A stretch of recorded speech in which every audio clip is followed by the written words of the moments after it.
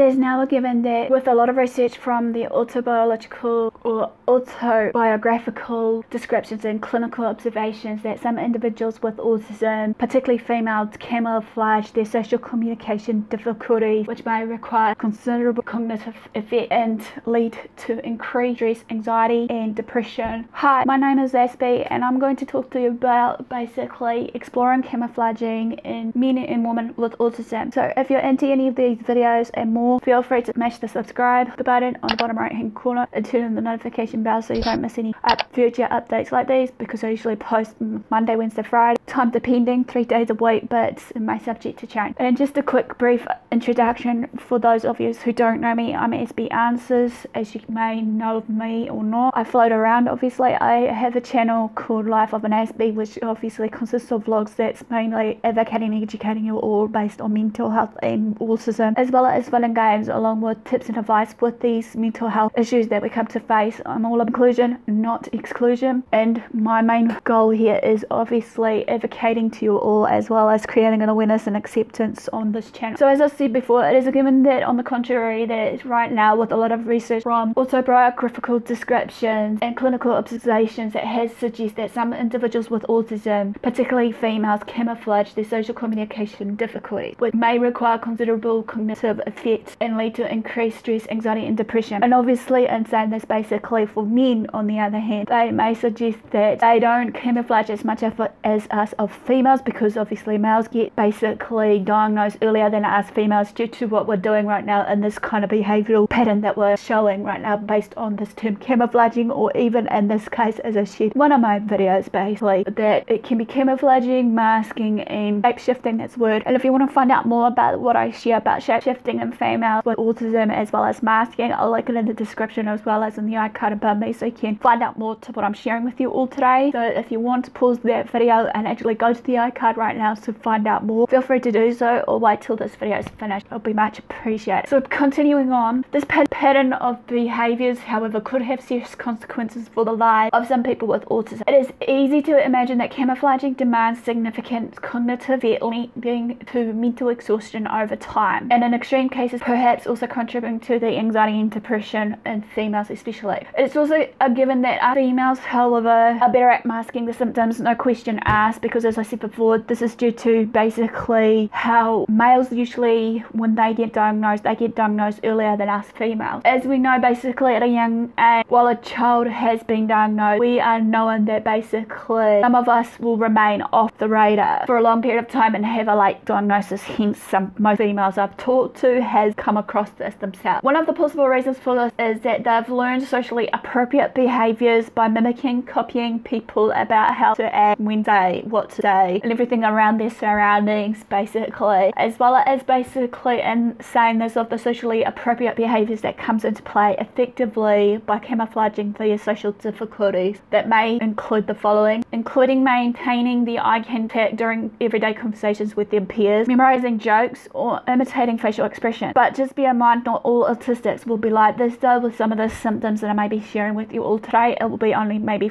a fair few that will go in between that. But in this case however as I shared in one of my many videos though mimicking or shapeshifting does seem to fit deem fit to the situation that we're facing while we're with others around us of what's going on, be it if we're, for example, at a party with a group of friends or just a group of people we may not know, and we're just trying to find a rare down harness just to, you know, observe our surroundings as well and maybe mimic the behaviors, you know, on how we should be acting and whatnot. In some ways, people may call us a fake or what have you. I've come across that a few times with some people when you know, I've fully been diagnosed with this condition, but then again, many people need to be aware of who and what we are. So, autism spectrum condition or disorder, because obviously it used to be called autism disorder by many clinical physicians and everybody else here, so that now they're trying to cut cut the word disorder and put the word autism spectrum condition, as I said in one of my videos, or in this case, henceforward, autism, okay, has a lifelong impact on the individual development. Adult presentation and outcome may vary substantially. This has been clinically shown or read by Helen Amos 2012. And in this research findings, also just before I continue, I'll write the website where I got this from because it's more in depth to what I'm saying. I'm trying to take out bits that matches to my research finding for you guys so that you can understand what I'm saying. Those who are diagnosed in childhood tend to show reduced autistic symptoms over time, but only a minority show satisfactory social functioning. In contrast to individuals who receive diagnoses in childhood. Some individuals are only identified later in life and life lie under the radar, as I mentioned, for many years, partly because of the, the learned strategies to conceal the social difficulties that they may face. These like diagnosed individuals tend to suffer from concurrent mental health conditions or challenges potentially related to long-term stress and adaptation to daily life and society. Given long-standing environmental support but also pressure to fit in with the neurotypical world, adapting with the social communication individuals with autism, irrespective of timing of the diagnosis may develop coping strategies over development. One such coping strategy is the way many may camouflage difficulties during social interaction. This is mentioned by either hiding the behavior that might be viewed as socially unacceptable or performing social behavior demands that are deemed more so that we're almost acting like a neurotypical. Making eye contact during a conversation that's being had, using learned phrases or pre-prepared jokes and conversations, mimicking other social behaviors, imitating facial expressions or gestures, and learning and following social script. One may also learn to consciously speak more quietly or not to stand too close to another person or not to make any personal remark. Perhaps following feedback these may be hurtful or uncomfortable for others or perhaps as a conscious goal to model their behavior on a neurotypical peer in order to gain greater social acceptance by their peer of the neurotypicals or just people in general. Autobiographical descriptions and clinical observations has often suggested that camouflaging unfortunately comes at least or at a cost shall we say. It often requires substantial cognitive effort, can be exhausting and may lead to increased stress responses, meltdown due to sensory overload or social overload, anxiety and depression, and even a negative impact on the development of one's identity. Camouflaging may also play a role in the observed male preponderance in autism prevalence. However, if it's the case, then females are more likely or more motivated to camouflage and thereby go undetected and undiagnosed for a long period of time. Thus, the male preponderance may reflect etiological sex gender differences, but may also be a product of under or misrecognition of autism in females, particularly associated with gender stereotypes and the historically male-based behavioral characterization of autism with insufficient acknowledgement of how females may present themselves of some of the behavior characteristics of autism in a qualitatively or quantitatively different way from their male counterpart. Camouflaging being one of the key examples here. Population-based data show, has shown that females are often diagnosed at later ages, and less easily than males with autism, unless there are behavior behavioral or cognitive challenges and less easily than males or challenges. One of the potential reasons for this may be the heightened tendency to camouflage difficulties in many females on the spectrum when difficulties in social interaction communication are marked. Their signs of autism are less likely to be picked up by camouflaging superficially typical nonverbal skills and social mannerism may be wrongly taken as evidence to rule out the presence of autism altogether. In the 1980s, however, investigating sex-gender ratio in the autism spectrum, the,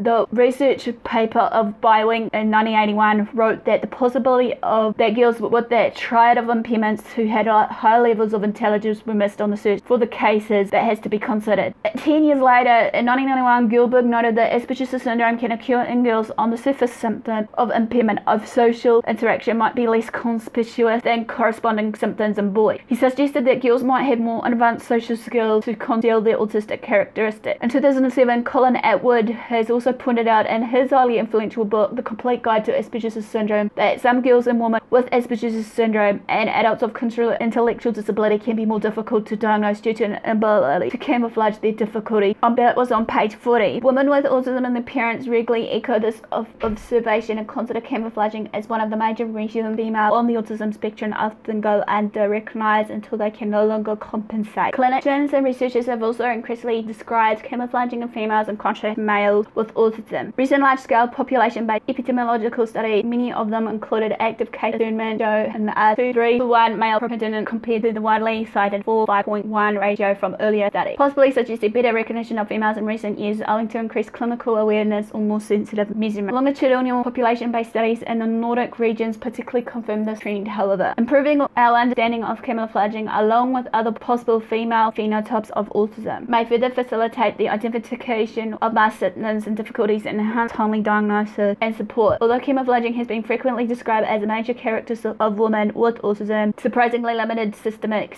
scientific investigation. A recent qualitative study, Pioneering et al. 2016, interviewed 10 teenage girls with autism on the social challenges associated with adolescence and analyzed the data using interpretive phenomenological analysis. These teenage girls reported that they developed explicit strategies to manage social relationships, in particular imitation and masking. Hiller et al. 2014 copied school-age boys and girls who were clinically diagnosed with autism and discovered that they meet the clinical criterion somewhat in different ways. Notably, some differences may underpin or reflect her camouflaging of females. For example, girls were more likely to be able to integrate non-verbal and verbal behaviour, have better imagination. At least it, as school teachers has reported so far, fewer concerns about girls than boys with autism regarding their social skills, friendship and externalizing behavioural problems. If there are, however, gender differences in camouflaging, this could help explain the well-known male preponderance in autism spectrum disorder. At least part of the gender imbalance in fact from an underdiagnosis of autism in girls because they are better at masking symptoms. However, before now, autism camouflaging has not been studied in a intimate and standardized manner. A recent open access study in the journal Autism by Meng-Chuan Lai and his colleagues is the first to offer an operational camouflaging, which they define as the discrepancy between internal and external states in social interpersonal context. For instance, if an autistic person maintains eye contact during conversation because they have learned that this is socially appropriate, even though this clashes with how they really want to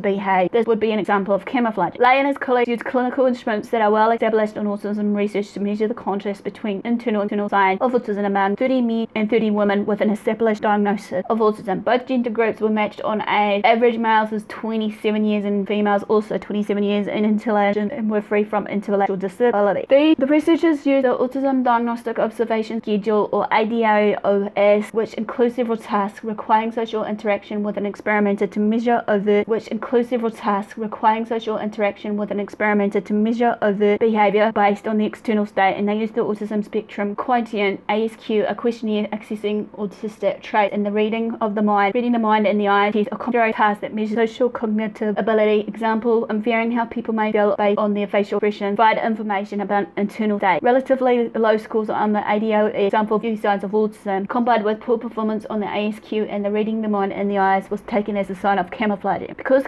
camouflaging likely comes at a considerable cognitive and emotional cost, the researchers also studied the participants' levels of anxiety and depression as well as their executive function. Finally, also used magnetic resonance imaging to scan the structure of their participant brain. As the researchers expected, women with autism had significantly higher camouflaging scores than their male counterparts, although there was considerable variability in both groups. Across the whole sample, higher camouflaging scores were associated with high levels of depression but not anxiety when looking at gender differences. The association between camouflaging and depression remains significant only in men, so it could be speculated that men are more susceptible to the negative consequences of camouflaging. Conversely, verbal intelligence wasn't associated with camouflaging in either the whole sample or gender separately. Interestingly enough, camouflaging correlated with executive function in females but not males. This indicated that women who camouflage more tended to have better executive function. In the diagram above me is basically from the research of figure 1 that will show you the six gender differences in camouflaging and its association with depressive symptoms and the detection sensitivity. A, a dot in box with a whisker plot showing the distribution of camouflaging quantified by the measure CF in men and women with autism. B, is CF BDI score correlation stratified by sex gender. C is CF sensitivity correlation stratified by the gender and sex. It's a second diagram of figure 2. Sagittal slices illustrating the grey matter regions showing gender, sex differential associations between CF and regional volume in red involving in left medial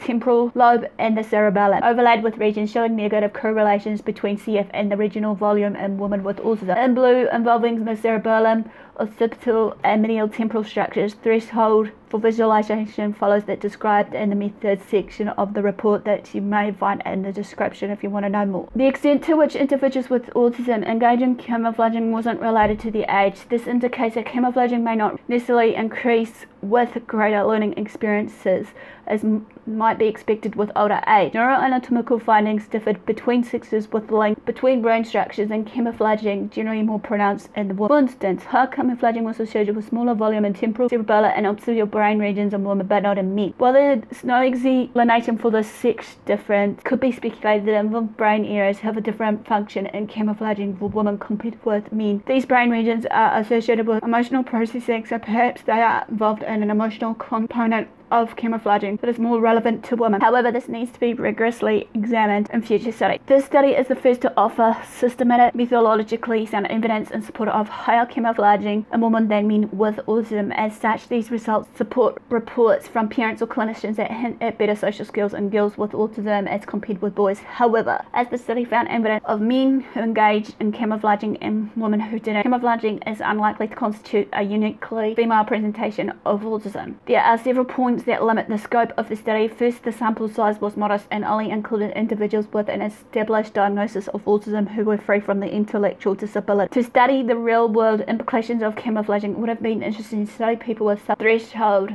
autistic scores because camouflaging might be one of the reasons why they have remained below diagnostic threshold for a long period of time in the first place. This information might also be relevant for healthcare professionals in terms of both diagnosis and treatment. Finally, the operationalization of camouflaging may be vulnerable to subjective bias. For example, ADOS raters may be guided by implicit gender stereotypes, leading the, them to give inappropriately high autism scores to girls who behave in a more boyish way. To conclude this finding of the research, the study has provided that the first systemic definition of camouflaging in individuals with autism and shows that this behavior is more men.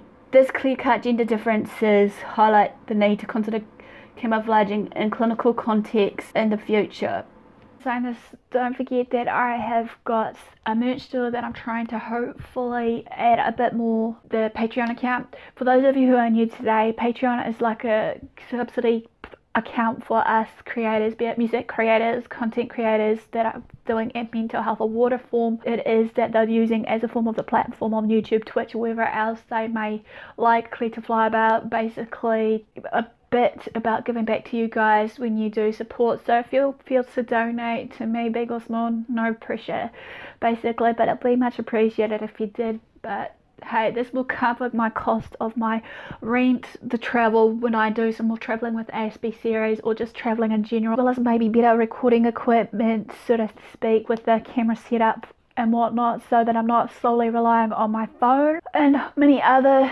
parts that were thing and saying this with the patreon account basically you'll see that i've been trying to do some benefits and tires for you to give back to you as i thank you for you know journeying with me even though some of it will be maybe for free some of it you know maybe need my out of my pocket to send you guys certain stuff bad if it may be if you do need to a certain amount merch of your choice versus basically maybe if I can afford to print out a copy of my book that I did three years ago if you're interested in reading my life story more there. And I'm saying this also just to let you guys know lay down that I've got some projects in the works that I'm still hoping that if anyone wants to participate for project number one of the Journey Through the Mind series that you may have seen Lydia, who was the first participant from Life with Lydia, basically sharing her life story. So I'm hoping to do short blurts of documentary style stories basically based on this and in saying this basically if you want to be on the bandwagon in any way for that feel free to comment below as well as saying this the second project of it was supposed to be an icebreaker for you guys just to answer a series of questions and if you do decide to come back for the second part of that journey through the mind series to be a more depth storyline, please feel free because I'm hoping later today, if all goes to plan, and I'm hoping to maybe get someone on the side to maybe animate them or what have you. And I'm saying this also, if you've seen some of my other videos, be it through my, you know, poetry, my baking with Aspie and everything else, please let me know what you would see more of because at this point of time, it's all about giving back to you guys regardless but i know i should be focusing solely on mental health and awareness and acceptance and inclusion as an advocate but i would like to try and bring in some mixture of things so i don't you know bore you guys so that you can just instead of getting to know me maybe getting to know others that were interested in coming into play. And then there's also just a heads up basically i was hoping in the works later today to do a second part of my book that i did based on my life of an Aspie, looking through the life of Asperger's syndrome or something along those. I'll link the link in the description below based on that as well. So that if any one of you that are maybe autistic and are from the autistic community groups, and you're interested in participating, let me know so that maybe we can get the ball rolling and get the short stories done and up as well as a third part of my book series because I'm still thinking that there are certain topics I may have not touched base on from the first part of my book of the journey through life with Asperger's syndrome of mine. And to wrap it up, basically, I have some other funding pages like basically GoFunding or some other funding page that I've got that if you're interested in maybe doing it through there instead of through basically Patreon. But as you know, Patreon and this other one, you have the option of PayPal and just insert bank account details and whatnot. I'm also saying this also, I'm trying to keep my blog up to date so I can create it as a website hopefully as of before next year because that's my main goal. I'm still looking for someone who is willing to actually maybe help me design it from WordPress to actually put this web address in and stuff and tidy it up so that we can actually put other bits and pieces in that you may want to see on there so to speak if you've seen it sort of thing you know, hopefully you're enjoying some of the read ups of what I write, even though it's similar to what I share with you guys of certain videos I may have put out, sort of thing. So it's easier for you guys when you come onto my WordPress site that if you're a visual person as of like a reader person, some of it is similar, but it should hopefully have some bits and pieces. And also in saying this, I'm um, at this point of time being away for a few times too because of the subtitling I'm supposed I'm doing. I hopefully enjoyed this video and do what you love, love what you do. Until next time, I'll see you again soon. Ciao for now.